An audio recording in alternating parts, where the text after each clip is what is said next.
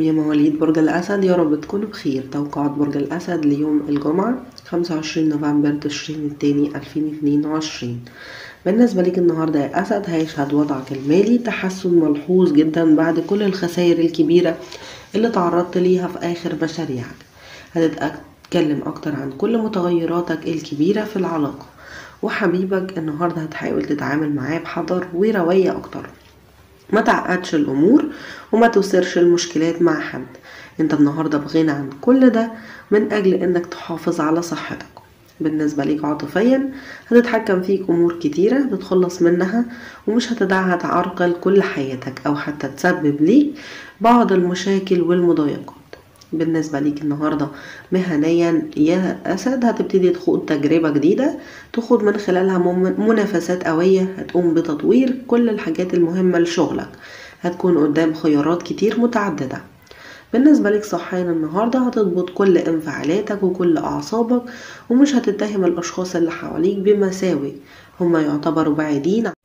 بالنسبة لحركة الكواكب اليوم هتشكل الزهرة شبه مربع مع بلوتو في الصباح ده. وترين لتشيرون في المساء. ممكن لعبور كوكب الزهرة وبلوتو إنه يلفتنا بشكل مؤقت. هنميل من خلاله إننا ننتبه أكتر لكل الأمور المتعلقة بعواطفنا واللي ممكن تبقى بتزعجنا. هيكون مغزى مهم جدا علشان نتلاعب بالأشخاص اللي حوالينا والمواقف اللي قدامنا هنعرف نتحكم فيها. كل ده هيؤدي لمشاكل غير ضرورية. ممكن تبتدي تظهر الغيرة والتملك مع كل ده. من السهل إننا نطلع من مناطق كتيرة في المشاكل اللي عندنا ونتقدم في اليوم ده. إحنا النهاردة مستعدين علشان نتعلم من كل مخاوفنا وانعدام الأمن اللي عندنا. هنحصل من خلاله على فرصة نصلح بيها كل علاقاتنا من خلال انفتاحنا على التعلم من بعضنا البعض في الفترة دي.